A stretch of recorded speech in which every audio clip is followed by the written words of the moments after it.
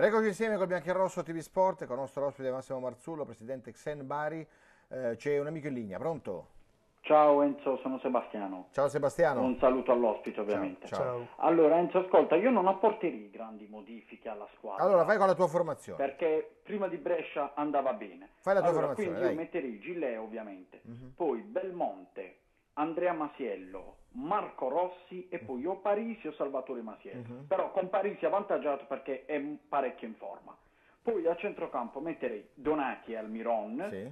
metterei poi eh, Rivas e Alvarez con Ghezzal e Barreto avanti. Ghezzal perché è l'unico che può fare gol insieme a Barreto. Va bene, quindi Grazie. Massimo Marzullo sta avendo un grandissimo successo. 080 501 9998, mm, abbiamo chiamato il tema del giorno la- un giorno d'avventura. eh.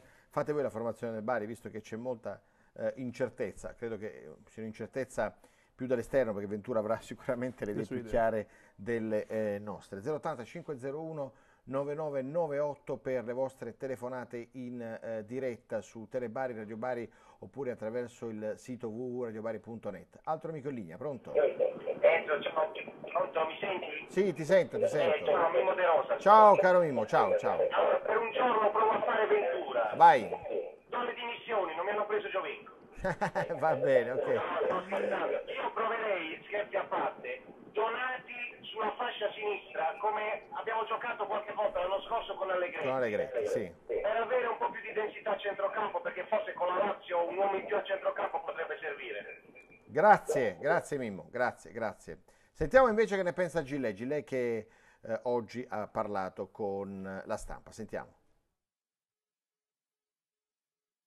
No, una cosa che si poteva fare magari prima, visto che mia moglie è italiana, però giustamente io non sono per queste cose. Io sono nato in Belgio, sono belga, è giusto che sia a disposizione della mia nazionale. Ma comunque grande rispetto per la Lazio perché essere la capolista in Italia, nella Serie italiana, è molto difficile, vuol dire che sì, loro sono lì, che hanno grandi, grandi giocatori, grandi valori e, e noi dovremmo fare una super gara per, per vincere, però siamo in casa, veniamo una sconfitta e c'è da, da riscattare la partita a Genova. Sì, sì, ma loro sono sempre stati ai nostri fianchi, ci hanno sempre aiutato e giustamente loro è una grande spinta per noi, speriamo che siano il più possibile perché domenica affrontiamo veramente una grande squadra. No, la Lazio ha grandi giocatori, come l'ho detto, dopo sei giornate si è in testa alla classifica, vuol dire che è una squadra importante e sicuramente come individuali- individualità sono messi bene.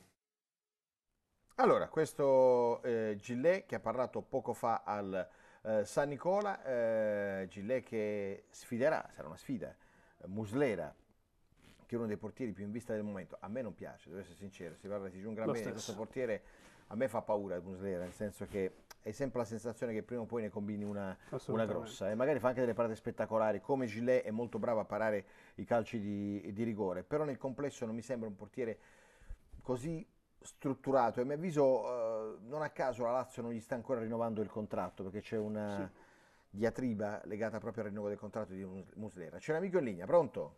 Ciao Enzo, sono Mino da Modugno. Ciao Mino, voce nuova o nome Sì, nuovo? Eh, sì, la prima volta che chiamo. Meglio così. Mino, allora, No, io volevo proporre una cosa. Secondo me doveva gioca- deve giocare Ghezzali in attacco, mhm, eh, perché secondo me è la stessa storia dell'anno scorso con Mil- eh, Eto'o nell'Inter, mhm. che giocava esterno destro, giocando in attacco, quest'anno sta facendo magari lo mettiamo in attacco e segna come no? to, infatti, infatti, infatti. Va bene, Solo va bene. questo volevo dire, e poi un saluto a Lino. Va bene, salutiamo Lino, lo salutiamo anche noi. Eh, insomma, hai lanciato il tema della trasmissione. Fa piacere, in attacco fa lo vogliono piacere. vedere tutti.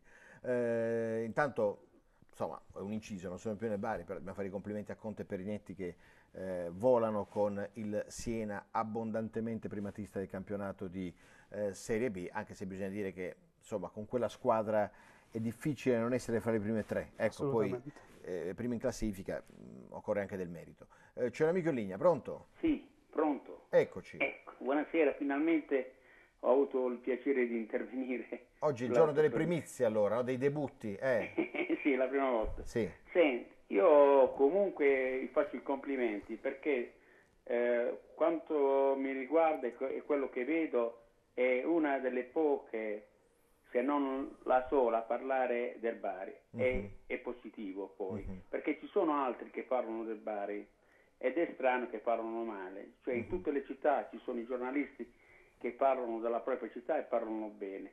Cioè noi per sentire parlare bene del Bari dobbiamo sentire parlare dai giornali di Milano. insomma. Anche noi facciamo le critiche, ma devono essere costruttive. Eh, Eh, buttare cioè- a mare quello di buono che c'è è un peccato. No, insomma. no, no, ecco, cioè, un complimento a voi come, Sì, come sì. giornalisti, perché Grazie, comunque vi ritengo delle persone serie, a parte qualcuno che era un ospite che non, lo- non lo sopporta, Eh, non lo vabbè, però io lo, ricordo, Però io lo dico, con eh, affetto. scusa. Eh. io dico una cosa, noi abbiamo la fortuna oggi di avere, secondo me, il più bravo allenatore della Serie A. Mhm. E giustamente non abbiamo, non abbiamo comunque soldi per poter avere una squadra che possa competere a livello degli altri, Sì. però comunque io devo fare i complimenti sia al Bari sia ai giocatori, perché avere Alvarez, non Mhm. tutte le squadre hanno un giocatore come Alvarez, è vero che sbaglia, qualche volta sbaglia, però Alvarez se non sbagliava qualche volta era uno dei più forti Non l'avrebbero, fatto, non l'avrebbero fatto giocare in Serie A, doveva giocare in un altro campionato allora ancora più dico- alto. Cioè, invece di, cioè, di fare delle critiche, demolire quello che sta di buono, cerchiamo di portare in alto di più, perché comunque lo merita sia il Bari, anche Matarreso lo merita. Io faccio i complimenti a questa squadra e soprattutto a Ventura, Grazie. veramente di cuore. Grazie, un abbraccio, spero di risentirti, grazie. Allora, parliamo di tifosi, pubblico e telespettatori. Devo dire che eh, Pino di Grumo è ormai diventato un personaggio al pari del signor Basta della trasmissione, però non mi aspettavo che avesse addirittura una vena creativa e artistica, perché su internet ho trovato un collage di teste, volti strani, tra cui il mio. Possiamo farlo vedere, guardate cosa ha combinato Pino di Grumo. eh, su, credo su Facebook o comunque su internet eh, i miei collaboratori hanno scaricato questa immagine mostruosa che adesso vi farò vedere e capirete di cosa eh, si tratta. Non è tanto questa, questi sono i pirati del Bari, questa è molto bella.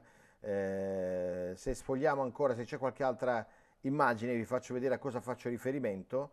Anche questa va bene, adoro gli squadroni ben riusciti, eh, a team e poi eh, celebrativa di Bari Brescia 2 a 1 con Rivas che cavalca la leonessa, Bari Cagliari, la famosa tiedda di patate di seccozze, Safari biancorosso Juventus abbattuta con, Bar- con Donati e Ventura, poi Gladiatori biancorossi eh, nella casa del Serpente, qui insieme Napoli Bari 2 a 2 con eh, Castiglio Barreto in versione Pizzaioli. Fermatevi qui, fermatevi qui.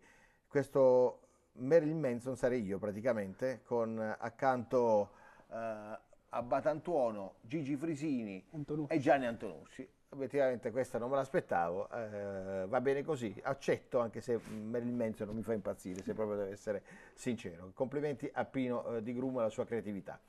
Torniamo insieme, torniamo insieme 080 501 9998. Oggi vi state trasformando da Giampiero Ventura, state facendo la vostra eh, formazione. Allora chiamatecelo 080 501 9998, senza dimenticare che ci sono i premi Xen eh, domani, eh, domani sera con Ventura, Masiello, Protti e Antonio Raimondo fra i premiati. Qual è il criterio di scelta eh, dei, dei premiati? Qual è mh, far bene, basta oppure occorre altro? Beh, eh, indubbiamente ehm, bisogna far bene, chiaramente, però mh, come criterio c'è ehm, un- un- un'equipe, un gruppo che appunto si riunisce. Oh, salutiamo tuo papà Mimo Marzullo, Sì. eh. Immagino che sia in visione casa, ascolto, assolutamente, guarda sì, sempre la sì, sì. trasmissione, sarebbe il colmo se guardasse te, sì, infatti, sì. infatti. Quindi ti dicevo, è un lavoro di equipe, un lavoro di squadra. Ehm, ogni anno si sceglie chi ha fatto eh, meglio nella passata edizione sportiva. C'è un amico in linea, credo 080 501 9998, pronto?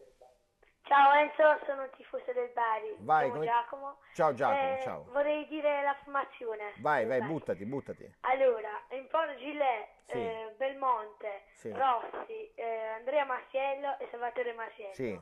Poi Gazzi e Donati. Mhm. Poi esterni, eh, Alvarez e Rivas. Sì? E come punta eh, Barreto e, e- e Castiglio. Hai fatto fuori Almiron, clamoroso, eh? Eh? F- Ti dico che hai fatto fuori No, no, Almiron. no, aspetta, Ah. Almirone in attacco le avevo messo. Ah, Almiron in attacco, vabbè, bella idea, stravagante. Grazie Giacomo, un abbraccio, grazie, grazie, mi fa piacere sentire voci, voci nuove, eh? voci nuove. Fermiamoci, pausa pubblicitaria, poi torniamo insieme perché abbiamo anche le immagini della vittoria del Bari Primavera ieri contro il Crotone 2-1, Bari Primavera che si sta abituando alle rimonte, credo che ne abbia fatti già 3 o 4 in questo inizio di stagione. penso quattro, sì, rimonte. Pubblicità.